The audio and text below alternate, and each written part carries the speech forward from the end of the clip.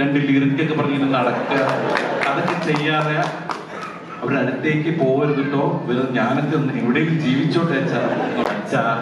ആ പരിസരത്തൊന്നും പോകണ്ട അച്ഛൻ അവിടെ ദൂരം മാറി നിന്നിട്ട് വെറുതെ ഇങ്ങനെ എത്തിയൊക്കെ നോക്കിയിട്ടൊക്കെ ഉള്ള പരിപാടി ചെയ്തു.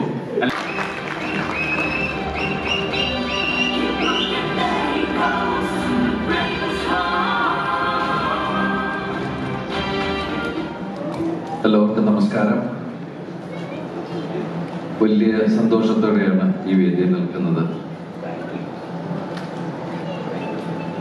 ഇവിടെ മണിയണ്ണ പറയേണ്ട ഡേവർഷൻ മണിയാണ് മണിയണ്ണാണ് എന്നെ അഭിനയിപ്പിക്കാൻ വേണ്ടിയിട്ട് ജോർജ് സാറിന്റെ സൈന്യം എന്ന് പറഞ്ഞ സിനിമയിലേക്ക് വിളിച്ചുകൊണ്ടുപോയത് കാരണം ഞാൻ അസിസ്റ്റന്റ് ഡയറക്ടറായിട്ട് വർക്ക് ചെയ്യുന്ന സമയത്ത്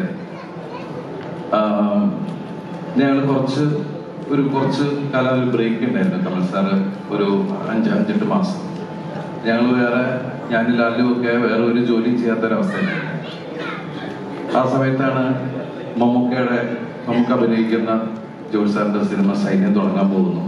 അതിലേക്ക് കുറച്ച് ചെറുപ്പക്കാരെ ആവശ്യമുണ്ട് എന്ന് പറഞ്ഞു. അങ്ങനെ അബി ഞങ്ങൾ കുറെ പേരുണ്ടായിരുന്നു. അതിൽ അഭിനയിച്ച ആളാണ് നമുക്ക് എല്ലാവർക്കും പ്രിയപ്പെട്ട വിക്രം. തുടങ്ങിയ ഒരുപാട് പേര്. അപ്പൊ മണിയണ്ണ എന്നെ നിർബന്ധിച്ചു. അപ്പൊ ഞാൻ വലിയ സന്തോഷത്തിലെ ഞാൻ അങ്ങനെ ജയറാമേട്ടനെ വിളിച്ചു പറഞ്ഞു. കാരണം നിങ്ങൾക്കറിയാലോ ജയറാമേട്ടനാണ് എന്നെ സിനിമയിൽ കൊണ്ടുവന്നത്. അപ്പൊ ഞാൻ ജയറാമേട്ടനെ വിളിച്ചു പറഞ്ഞു ജയറാമേട്ട എന്നെ സിനിമയിൽ അഭിനയിക്കാൻ വിളിച്ചിട്ടുണ്ട്. ഏത് സിനിമ? ഞാൻ പറഞ്ഞു ജോഷി സാറിന്റെ സൈന്യം. ജോഷി സാറിന്റെ സൈന്യം? ജോഷി സാറ് സൈന്യം മമ്മൂക്ക. അരം അത് ഭയങ്കര വാറ് ഫൈറ്റ് അങ്ങനെ ഫ്ലൈറ്റ് അങ്ങനെയൊക്കെ ഉള്ള ഒരുപാട് കാര്യങ്ങളാണ് ആ സിനിമയിൽ അപ്പൊ എന്റെ അടുത്ത് ചോദിച്ചു നിന്നെ അത്രയും മെലിഞ്ഞ ഞാനായിരിക്കുന്നത് എന്റെ അടുത്ത് ചോദിച്ചു നിന്നെ ലാത്തിയിട്ട് അഭിനയിക്കാനാണോ വിളിച്ചത്? എന്ന് അതോടുകൂടി തന്നെ എന്റെ കോൺഫിഡൻസ് അങ്ങോട്ട് പോയി. അതിന് ഞാൻ പതുക്കെ മാറി നടന്നു. അപ്പൊ ജോർജ് സാറിനെ കാണാൻ വേണ്ടി അബി എല്ലാവരും പോകുന്നുണ്ട്. അവസാനം മണിയണ്ണനാണ് നിർബന്ധിച്ച് എന്നെ കൊണ്ടുപോയത്. അപ്പൊ എനിക്ക് കിട്ടിയൊരു ഭാഗ്യം എന്ന് വെച്ചാൽ അന്ന് നാദൃഷയും ഈ സിനിമയിൽ അഭിനയിക്കാൻ വേണ്ടി പോയിരുന്നു. നാദൃഷ പോയത് അബിയുടെ കൂടെയാണ്. അപ്പൊ സാർ നോക്കിയത് ഒരേ ഹൈറ്റുള്ള ആൾക്കാരെയൊക്കെയാണ്. അപ്പൊ നാദൃഷയും അബിയും തമ്മിൽ നല്ല ഹൈറ്റ് വ്യത്യാസം ഉണ്ടായിരുന്നു അല്ല നാദൃഷ ഔട്ടായി പക്ഷെ ഞാൻ ഒറ്റയ്ക്ക് പോയതുകൊണ്ട് സാറിന് ഹൈറ്റ് നോക്കാൻ പറ്റിയില്ല. അതിന് സാർ എന്റെ അടുത്ത് വരാൻ പറഞ്ഞു. ഞാനവിടെ ചെന്നു. ഞാൻ ചെന്നപ്പോ ആ ഗ്രൂപ്പിലെ ഏറ്റവും ഹൈറ്റ് കുറഞ്ഞാൽ ഞാനാണ് പക്ഷെ സാറ് വന്നിട്ട് ഇങ്ങനെ നോക്കി. പിന്നെ പറഞ്ഞു വിടാനും സാറ് തോന്നില്ല. പക്ഷെ അവിടെ കുറച്ച് ആ സമയത്ത് അസിസ്റ്റന്റ് ഒക്കെ വന്ന് തുടങ്ങണേ ഉള്ളൂ. അങ്ങനെ ഞാൻ സാറിന്റെ കൂടെ നാൽപ്പത് ദിവസം ഞാൻ സാറിന്റെ അസിസ്റ്റന്റായിട്ട് വർക്ക് ചെയ്തു. അവിടെ നിന്നാണ് ഞാൻ ജോർജ് സാറിന്റെ ജോർജ് സാറായിട്ടുള്ള പരിചയവും പിന്നെ ജോർജ് സാറിന്റെ സിനിമയിൽ ശരിക്കും ശ്രദ്ധിക്കപ്പെടുന്ന ഒരു വേഷം എനിക്ക് കിട്ടിയത് സൈന്യത്തിലാണ്. കൊക്ക് തോമ എന്ന് പറയുന്ന ഒരു ക്യാരക്ടർ അവിടെ നിന്നാണ് പിന്നെ അങ്ങോട്ട് പിന്നീട് ദൈവാനുഗ്രഹം കൊണ്ട് സാറിന്റെ കൂടെ ഒരുപാട് സിനിമകളിൽ എനിക്ക് വർക്ക് ചെയ്യാൻ സാധിച്ചു. പക്ഷെ അന്നും ഇന്നും എന്നും ആ പഴയ അസിസ്റ്റന്റ് ഡയറക്ടറായിട്ട് തന്നെയാണ് ഞങ്ങൾ വർക്ക് ചെയ്യുന്നത്. കാരണം ഗുരുസ്ഥാനത്തുള്ള സ്ഥാനത്തുള്ള സാർ ഇവിടെ ഉണ്ട് എന്നെ കൊണ്ടുവന്ന മണിയണ്ണൻ ഇവിടെ ഉണ്ട്. വലിയ സന്തോഷം. ആ വേദിയിൽ നിന്ന് ഇങ്ങനെ വലിയൊരു സിനിമയുടെ ഒരു ഓഡിയോ ലോഞ്ചിന് നിൽക്കാൻ സാധിച്ചത് സർവശക്തനായ ദൈവത്തിനോട് നന്ദി പറയുന്നു. അതുപോലെ തന്നെ ഈ സിനിമ നമ്മളെ സംബന്ധിച്ച് ഏറ്റവും ഞങ്ങൾ എല്ലാവർക്കും ഏറ്റവും ആവശ്യമുള്ള ഒരു സിനിമ തന്നെയാണ്. ഇപ്പൊ ആരും പറയുണ്ടായി ഇതിന്റെ കഥ കേട്ടപ്പോൾ ഞാൻ പറഞ്ഞു തമന്ന തന്നെ വേണം എന്ന് പറഞ്ഞു ശരിക്കും പറഞ്ഞ തമന്ന ഇല്ലെങ്കിൽ ഈ സിനിമ ചെയ്യണ്ട എന്നുള്ള ഒരു അവസ്ഥയിലായിരുന്നു. അപ്പൊ അരുൺ കഥകളൊക്കെ ഇവിടെ പറഞ്ഞു കഴിഞ്ഞു. അരുൺ പോയതും തമന്നാജിയെ കണ്ടതും. അത് കഴിഞ്ഞിട്ട് ഞാൻ പറഞ്ഞു "അവൻ കണ്ടിട്ടില്ല എന്റെ അടുത്ത് വെറുതെ നുണ പറയാനാണെന്നാണ് ഞാൻ വിശ്വസിച്ചത്. അത് ഞാൻ പറഞ്ഞു പിന്നെ എന്നൊക്കെ പറഞ്ഞു കഴിഞ്ഞപ്പോഴാണ് ഇവൻ ഫോട്ടോ ഇട്ടു. ഫോട്ടോ ഇട്ട് കഴിഞ്ഞപ്പോഴും എനിക്ക് അത്ര ഉറപ്പുണ്ടായി ഉറപ്പിച്ചത് തമിഴ്നാട് കൊട്ടാരക്കരയിൽ പൂജയ്ക്ക് വന്നപ്പോഴാണ്. അതാണ് നമ്മൾ കാരണം ഒരു ഡ്രീം കംസ് ട്രൂ എന്ന് പറയുന്ന ഒരു സാധനത്തിന്റെ ഒരു തുടക്കം. വന്നു പിന്നീട് കുറെ നാൾ ഞങ്ങൾ പല പല ലൊക്കേഷൻസിലൂടെ ട്രാവൽ ചെയ്ത് ഈ സിനിമ പൂർത്തീകരിച്ചു. അത് കഴിഞ്ഞിട്ട് ഇവിടെ പറയ പോലെ പറഞ്ഞ പോലെ ഏറ്റവും ലാസ്റ്റ് ഞങ്ങൾ ഷൂട്ട് ചെയ്തത് ഈ പാട്ടാണ്. നിങ്ങൾ കണ്ടില്ലേ? റൗ റൗ റൗ റക്കാറക്കാന്ന് പറഞ്ഞ പാട്ട്.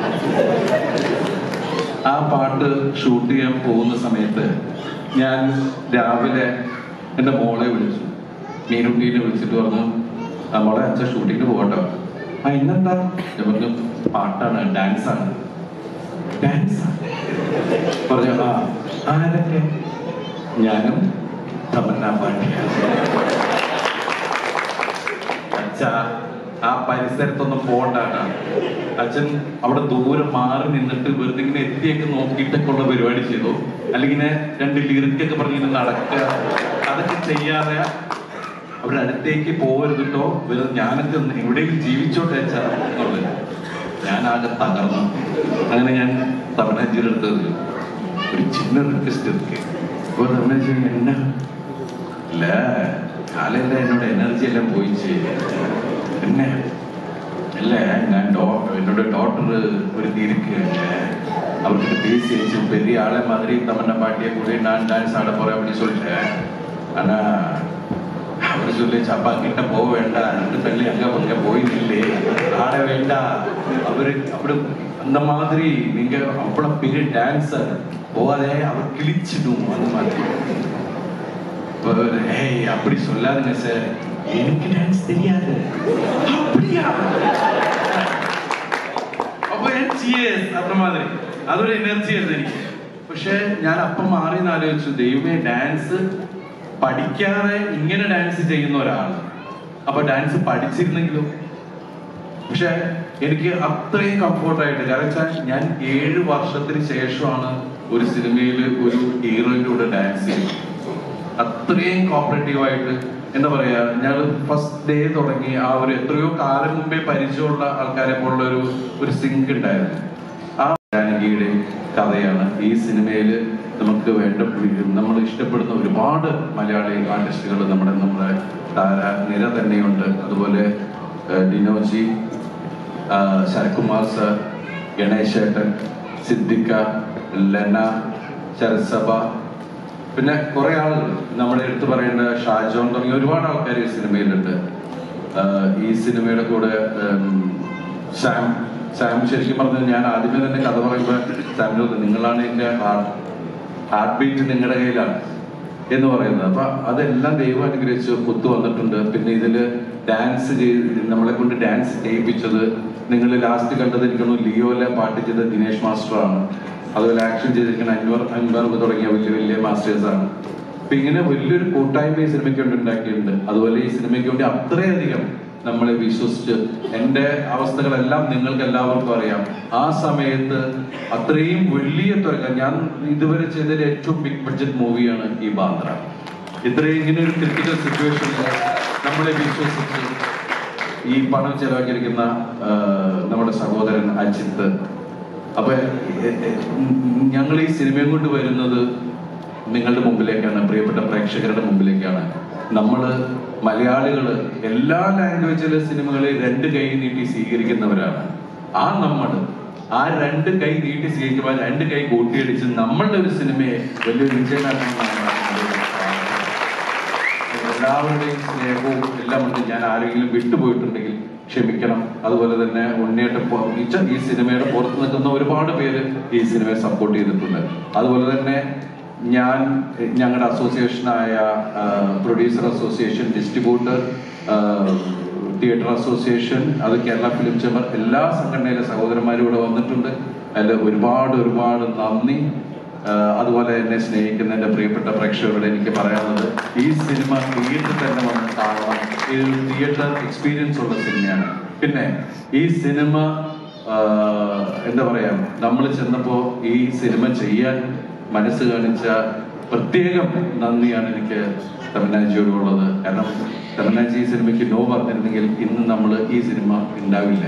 അത് ഉറപ്പായിട്ടുള്ള ഒരു സത്യം തന്നെയാണ്.